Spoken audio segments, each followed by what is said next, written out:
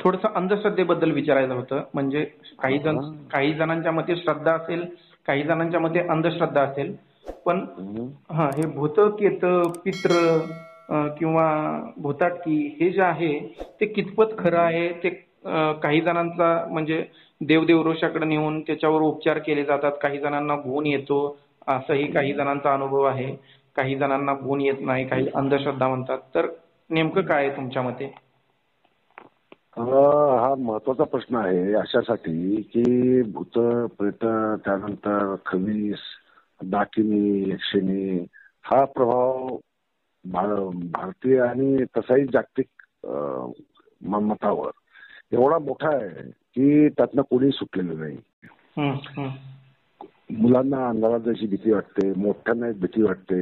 मग काही अनुभव आलेले असतात काहींना वाटतं की खवखर भूत दिसलं का भूताने झपाटलंय. आणि काही चित्र विचित्र आकृत्या दिसतात आणि असं वाटतं की आपण भूत पाहिलं. याच्यामध्ये दोन महत्त्वाच्या गोष्टी आहेत की हे अनुभव येतात हे असत्य मी म्हणणार नाही. पण त्याच्यामागे शास्त्रीय कारण हे लक्षात घेतलं पाहिजे. शास्त्रीय कारण. शास्त्रीय कारण असतं. आणि दुसरी गोष्ट म्हणजे माणसाची कल्पना शक्ती पण असते. म्हणजे अंधारात त्याला काठी दिसेल साप वाटतो वगैरे वगैरे अशा प्रकारे कधी कधी. ज्या गोष्टी खरोखर तशा नसतातच पण त्या आहेत असं वाटतं. किंवा चित्र विचित्र आकृत्या दिसतात भौमितिक समोर. आणि त्यातनं मनुष्य वेगळा अर्थ काढतो कल्पना शक्तीचा वापर करतो आणि घाबरून जातो.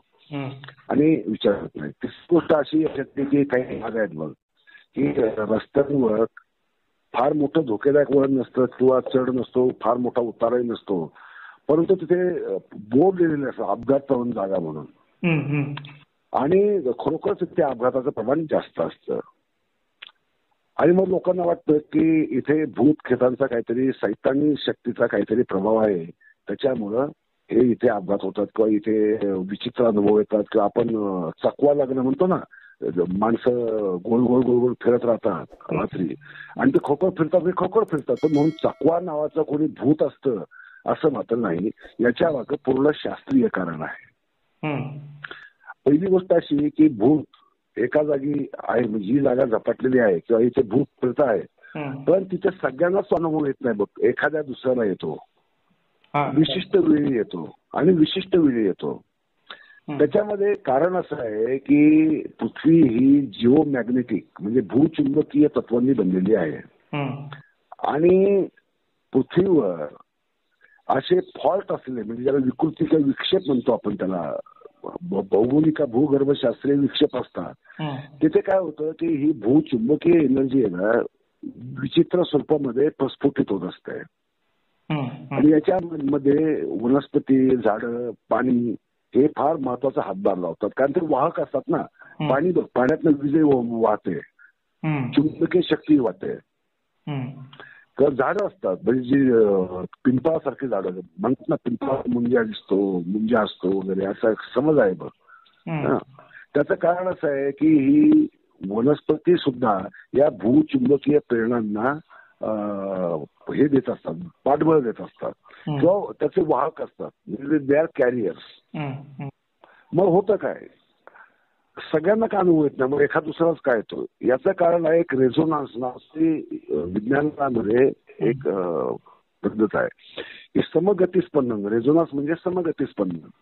ही एखाद्या ठिकाणावरनं जी स्पंदनं निघत असतात सातत्याने.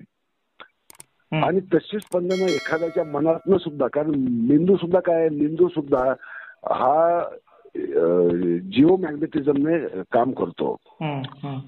कारण माणूस विचार करतो म्हणजे जिओ मॅग्नेटिझम असतो सगळा आणि अशा वेळेस दोघांची स्पंदनं एक सारखी ज्यावेळेस होतात. अशा माणसाला मात्र विचित्र अनुभव येऊ शकतात तो सायकोलॉजिकल असतो परंतु विचित्र अनुभव येतात हे सत्य असतं. आणि त्याला वाटतं की मला भूताचा अनुभव आला का मला भूत दिसलं.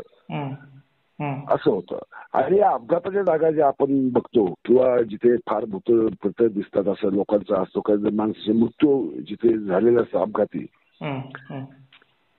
त्या भूभागामध्ये त्या पट्ट्यामध्ये हे भूचुंबकीय विक्षेप असल्यामुळे किंवा भूचुंबकीय किंवा जिओ मॅग्नेटिक फॉल्ट्स असल्यामुळे. तिथे ती एनर्जी वेगळ्या प्रकारे विस्फोटित होते मग तिथून जाताना होतं काय की माणूस माणसाची विचारशक्ती अक्षरशः विस्कळीत होते हं. हं. डिस्टॉट विस्कळीत होते हं. आणि त्याला समोरचा सरळ काही दिसतच नाही. म्हणजे त्याला रस्ता सरळ आहे असं वाटतच नाही त्याला असं वाटतं की मी सरळ जायला पाहिजे तो डावीकडे जाईल किंवा उजवीकडे जाईल किंवा त्याचे दिशाहीन होईल तो. चकवा लागतो तेव्हाही असंच होतं. चकवा लागतो म्हणजे काय होतं की माणूस तिथेच का फिरतो गोल. कारण त्याचा जिओ मुळे मेंदूवर जो परिणाम होतो त्या मेंदूमध्ये माणसाची दिशा. दिशा सूचक यंत्रणा जी मेंदूमध्ये असते. ती यंत्रणा डिस्टर्ब होते. आणि ती डिस्टर्ब झाली की माणसाला दिशा करणं बंद होऊन जातं.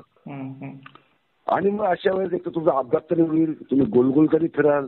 किंवा तुम्हाला चित्र विचित्र आखोट्या समोर दिसतायत असा भास होईल. ती असते कल्पना परंतु ती कल्पना निर्माण होते मेंदूमध्ये आणि मेंदूत का निर्माण होते की हा जिओ मॅग्नेटिझम.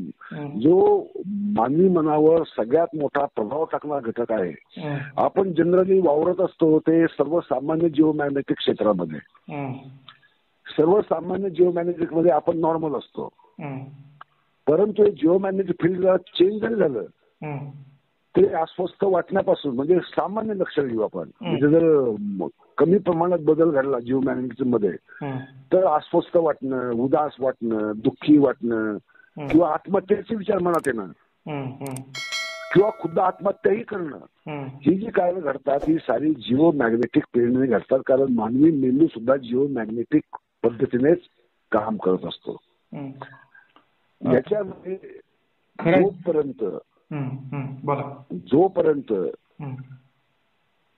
सभोवतालाशी मानवी मेंदू संतुलित स्थितीमध्ये कनेक्ट आहे.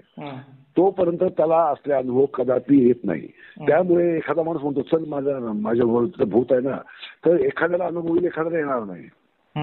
कारण का की ज्याची संतुलित अवस्था आहे किंवा रेझोनन्स होत नाहीये हं. त्याला तो अनुभव येणार नाही पण ज्याचा रेझोनन्स होतो त्या लहरींशी किंवा त्या वेव्हशी ज्याला इलेक्ट्रोमॅग्नेटिक वेव्हशी. ज्याचा संबंध येतो रेझोनन्स होतो त्याला मात्र तो अनुभव येऊ शकतो. त्यामुळे अशा आपण झपाटलेल्या जागा झपाटलेली झाडं किंवा अपघात प्रवीण जागा वगैरे जे आपण म्हणतो ती काही भूता खेताचं ही आपली मानवाने शास्त्र माहीत नसताना माणसाने केलेल्या कल्पना आहेत. मग इथे खून झाला होता इथे कोणतरी मेला होता इथे हाडळ दिसते इथे खनिज दिसतो या कल्पनांचा एक पकड असतो माणसावर हा कल्पनेने होणारे भास. आणि जिओ मॅग्नेटिक गोष्टीमुळे येणारे अनुभव या दोन्हीत फरक असतो. परंतु लोक सर्वसाधारणपणे सर्वसामान्य माणूस काही ज्ञान नसतं मग तो काय करतो की मला भूत दिसलं. मग तो आजारी पडतो तर ताप भरतो काहीतरी बाष्कड बडबडायला लागतो. कारण तो त्याचा मानसशास्त्रीय परिणाम होतो. सायकोलॉजिकल इम्पॅक्ट इफेक्ट आपण म्हणू का त्याला सायकोलॉजिकल विकृती म्हणू का सायकोलॉजिकल दोष म्हणू. मग त्याच्यामध्ये लोकांना मग त्याच्या आई वडिलांना किंवा आजूबाजू लोकांना काय वाटतं? याला झपाटले भूताने. मग त्याला मानसिकाकडे नेणार. मानसिक ते भूत प्रेत उतरवण्यासाठी काहीतरी नाटक करणार. प्रत्यक्षात सायकोलॉजिकल स्थिती जोपर्यंत ताळ्यावर येत नाही. तोपर्यंत कोणी त्याला नीट करू शकत नाही.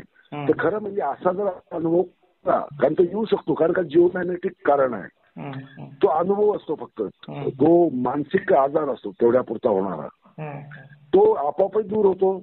आणि जर फारच असं वाटलं की सिरियस आहे तर सायकॉलॉजिस्टकडे किंवा सायकियाट्रिककडे जाऊन त्याच्याकडनं इलाज करून घेणं हं. खरा मार्ग. मानसिकात आमच्या जाणं का मंदिरात जाणं का एखाद्या देवा देवासमोर त्याला नेऊन आदळणं किंवा अंगारे दुपारे करणं हे काही उपाय नाहीये. अंगारे दुपारे करणं हे म्हणजे मूर्खपणाचं अज्ञानाचं अंधश्रद्धेचं लक्षण आहे. हे आपण सर्वांनी लक्षात घ्यायला पाहिजे. खरं सर गौतम बुद्धांनी म्हटलंय आपल्या विचारावर आपण अवलंबून असतो. आपल्याला जे दिसतं जे असतं ते आपल्या विचारावर असतं. सकारात्मक विचार करणं सकारात्मक उपचार करणं हाच याच्यावर पर्याय आहे. जाणून घेत होतं याच अंधश्रद्धेच्या मुद्द्यांबद्दल.